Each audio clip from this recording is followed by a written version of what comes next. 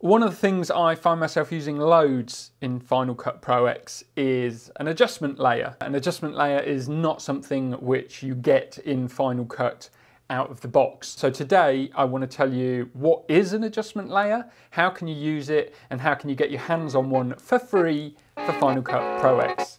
So let's get into it.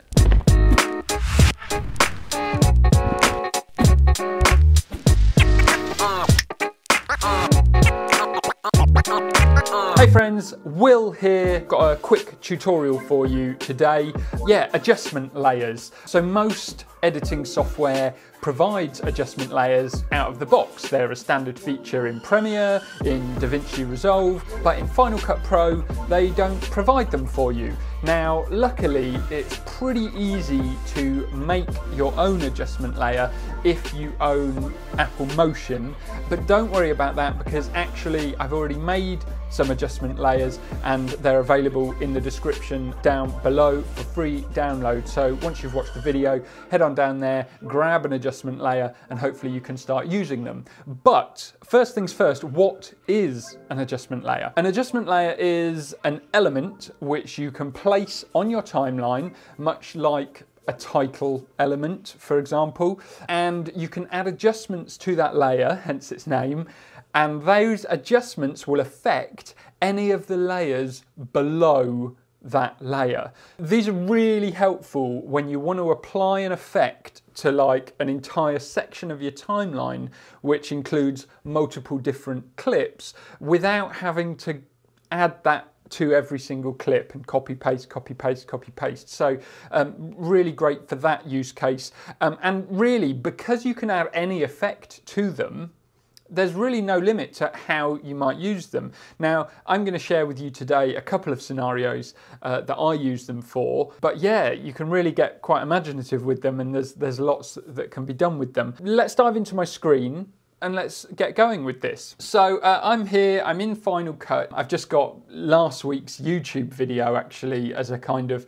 project to, to sort of talk through and show how I'm using adjustment layers on a really regular basis. Now, if you do grab the adjustment layers that I've put in the description for you, the first thing you're to want to do is get them into your copy of Final Cut so that they're available to use. You can see here in my um, viewer, I've got under my titles, uh, I've got this adjustment folder and in there I've got four different types of adjustment layer.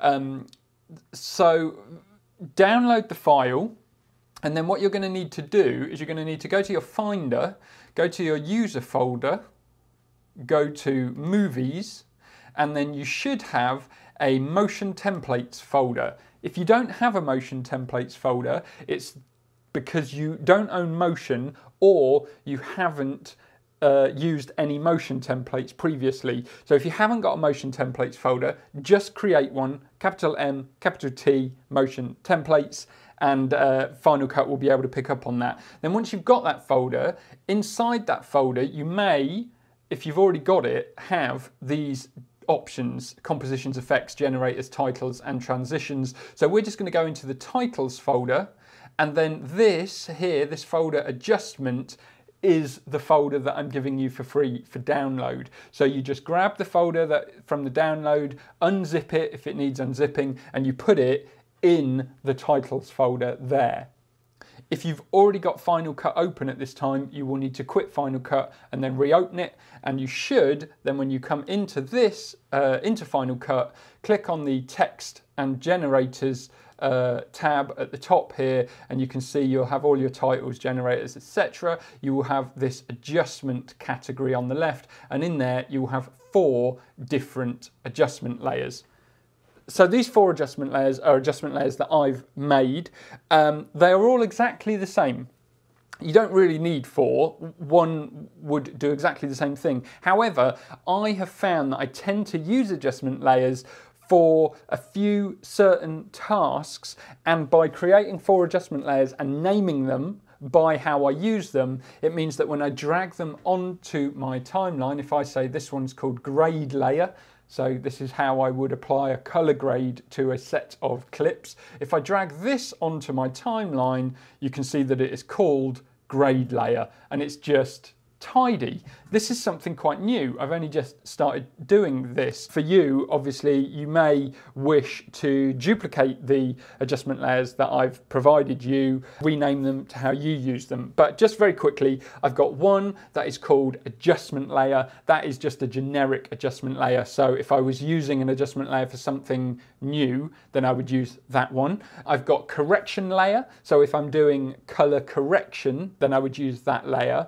and it would when I put it on the timeline, it will say it's a correction layer. I've got grade layer, which is exactly as you would imagine, where I would add a color grade, perhaps a custom LUT, for example. And then I've got crop layer, which is something I use, which I've recently started using adjustment layers for, which is a really quick way of doing little crop-ins on like interview footage. So like this, for example, and then back out again. That's, I've just dropped an adjustment layer on there and that's how I've achieved that. So uh, let me show you uh, quickly how I'm sort of using um, adjustment layers in this project very briefly. Um, uh, this was my tripod video from a few weeks ago and I did this little intro of me just getting some b-roll of this particular tripod, okay? And I wanted all of these to have a style, a LUT applied to them. So what I've done is I've grabbed my adjustment layer, which is this purple layer here, placed it over the top of all of the clips that I want to be affected, and then I can simply add the LUT. Uh, on this occasion, um, I've used one of Peter McKinnon's LUTs, the Kodak Killer LUT, just and I've got it bumped up quite high on this particular occasion. So uh, to, to do that, I would simply grab an adjustment layer, say I'll use my grade one in this instance, drop it onto my timeline. Let me just get rid of this adjustment layer first. So I would drag it out to where I want it to be. That's my grade layer then I would open my effects window and I would go to color and I've got my custom LUT there. So I drag my custom LUT onto the adjustment layer and then from up here I can choose to add uh, Kodak Killer and I can then dial in the amount just like I would on any other. Okay? So that is one use for it. The reason I have the correction layer, okay, is quite nice if you're if you need to do some kind of corrections to your footage before you apply the grade, then what you can do is you can add a correction layer. Uh, let me just scroll along to somewhere that's not got anything going on. So say I've got this bit of footage here, this little clip of the overhead camera. I could add my correction layer first make that the length of that clip. I could then, whilst that layer is selected, come into my color and make any exposure, white balance adjustments that I want to make to that clip. Okay, I won't make any corrections right now because I, I don't need to. And then I would put another adjustment layer over the top as my grade.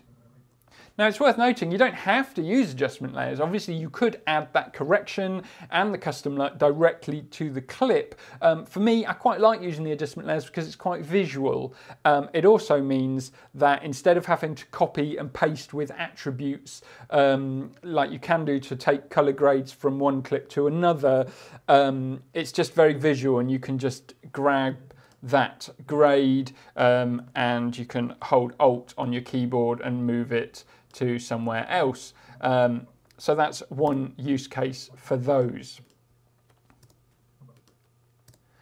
So then another thing that I've started to do recently, um, you might notice if you watch my YouTube uh, videos regularly, you'll notice that sometimes if I'm talking about something, I like to crop in and uh, use you know the same piece of footage but essentially to create a sort of fake second camera angle um, and the I used to do this very manually, go to each clip, and if it was a long clip, I would cut the clip um, either side where I want the uh, zoom to appear. So if I come along here, let's just let's just do. So say if this clip here, if I wanted to put a zoom into this clip, I would say right, I want the zoom to appear uh, here, for example. So I would Command B cut, and then I would say, and I want it to end there, so I would do Command B cut. And then in this particular clip, um, I would then do uh, Shift T for transform. Um, and then if I zoomed out, and then I would grab the corner of it. Oops, sorry, where am I? There. Grab the corner of it, put my zoom in place like so, and then say done, and then that hopefully zoom. Okay, obviously that's not a particularly great use of the zoom. I just randomly chose a section of the timeline to do it to. That though, I found that quite time consuming putting the cuts in and then if you decide that actually you didn't want the cut quite where it is, then it's, it's quite hard to tweak it. So by using an adjustment layer for that, it's really easy and you can see uh, here is an example of where I've done that. So I've put my crop layer, adjustment layer onto the timeline where I want the zoom to be. I've applied the scale to the adjustment layer, so I've zoomed in by 150% and slightly changed uh, the position. And that does exactly the same thing. And if I said, oh, oh, that zoom in starts a bit too early, then I can just move the adjustment layer and very quick and easy.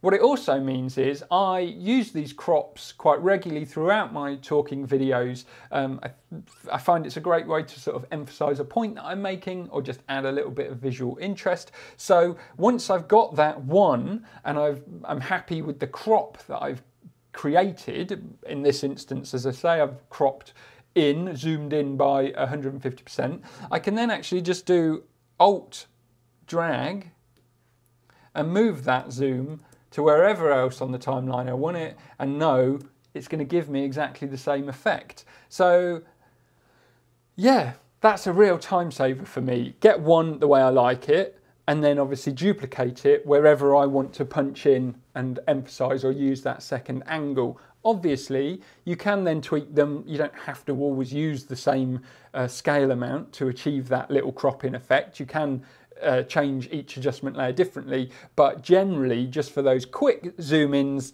I find that a really effective way to do it. So, that is adjustment layers. Free adjustment layer download in the description down below. Hopefully this video has given you some ideas of how you can use them to get creative with your editing techniques or just as a time saver. As I say, the main ways I use them is generally for color correction or for applying a grade to my footage or I've started using them recently for these crops. Another way actually, sometimes if I want to add a vignette to an entire video, then an adjustment layer is a really easy way to do that. Just drag it on top, extend it to the full length of the project, add that vignette, dial in the settings, and you know that it's going to be consistent throughout the whole video rather than adding the vignette to every single clip and then having to dial them each in. So yes, that is another way to use it. I hope you found that helpful. If you did, give the video a thumbs up. If you like this sort of thing, me chatting about